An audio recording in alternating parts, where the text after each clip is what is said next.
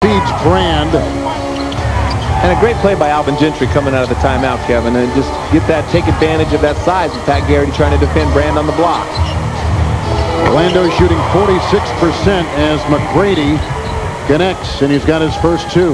Their interior, or lack of interior defense, and uh, Tracy's got to step up his defensive game and become more complete for this team to move on in the playoffs. Kemp with the rebound ends up in a three from McGrady who buries it from outside. That is the game's first three-point shot as you take a look at Doc Rivers, the coach of the Orlando defense from Hill. And outside, Andre Miller with the miss, and here comes Tracy McGrady. Magic have to identify some aspects of getting the ball inside and getting some inside offense. That's a great shot, but they definitely have to get somebody that's able to do. And Doc was extremely complimentary of him when we talked to Doc, so he must be trying to do the right thing. He's complimentary because he's playing well. He's making shots and he's working hard and he's working on his game. McGrady has just hit his third three-point shot of this game. He's got a. You got to make the pass inside or make the pass to somebody who's open on the outside. Here comes McGrady, who is 4 of 11. Down the lane, McGrady flies into Brand and going backwards. He's got 17. And that was a great play by ending all the things that, that Elgin Baylor has done for this team. The things I like most are getting quality people and players like Andre Miller and Elton Brand. Uh, I bet that's better than all the drafts. It's easy to draft when you're drafting one, two, three every year.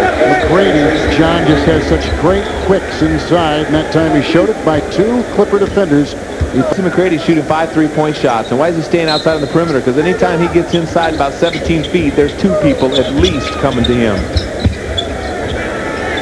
McGrady. And plus he can make them. He's got 21. Over Kane to give to Corey Maggette out of Chicago. Kemp just tore it right away.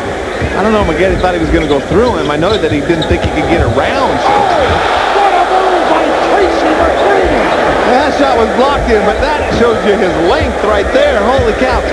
From here, I didn't think there was any way he was going to get. I thought he was going to finger roll it like George Gervin. something else. Wow. I got to check the trampoline floor right down there. That, that's an illegal floor. Look at that outside. That's almost from the free throw line.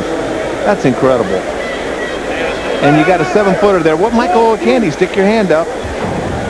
Well, I tell you, you give Miller credit, even though he made that, Miller was the only one, you know, really that contested that as far as lengthwise. Definitely think the Clippers have to start to put little wrinkles in their defense. They're being too passive now. They're playing at home. They've got to change the pace of this game. Rebound by Hill. This is not supposed to be a good rebounding team, but they've out-rebounded them by six so far. And they're doing a good job. And I think that Shawn Kemp and Andrew DeClercq have had a lot to do with that in the minutes that they've played of establishing that interior defense. Oh, what a shot. McGrady is on fire with 27 points.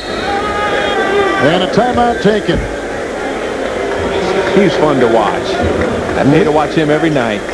Leading scorer in the NBA, 17-point Orlando lead, which is the biggest lead tonight for the Magic. And John, he's done most of it from the perimeter because he's been double teamed so much tonight. He's taken that last one to the hole. But see, when he becomes a great shooter, I mean, that's unfair. That guy can do everything. He can post up, he can score, he can create for his teammates. And uh, when he starts knocking down that perimeter shot, it's it's unbelievable. Strong with seven for Orlando, 16 for Oliver Candy, and 11 rebounds for Brand. He leads everyone in rebounding tonight. Maggette. The clock inside. Shot clock at three. 41% as well from the floor. Well, the shots are getting blocked everywhere. You look right here. Uh, McGrady goes up and knocks. Seconds to shoot. Dooling. Flying in Wilcox, but couldn't put it through. He played on that NCAA championship team last season at Maryland. And without all the dramatics, if you tap the ball, you got a basket right there.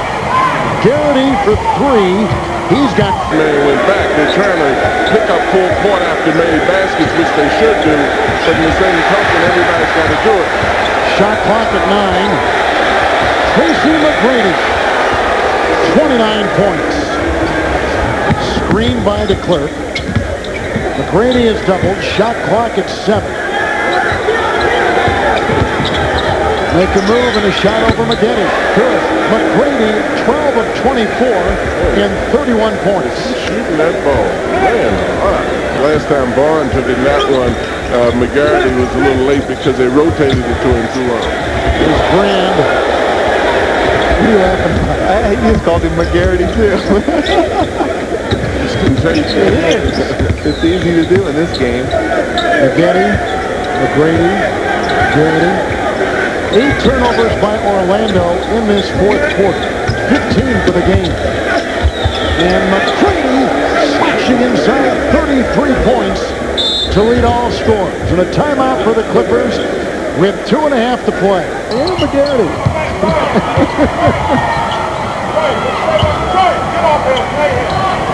Well, this is not the game we expect, to be quite honest. Orlando but three right there, and Grant Hill has 17, seven of which have been authored in this fourth quarter.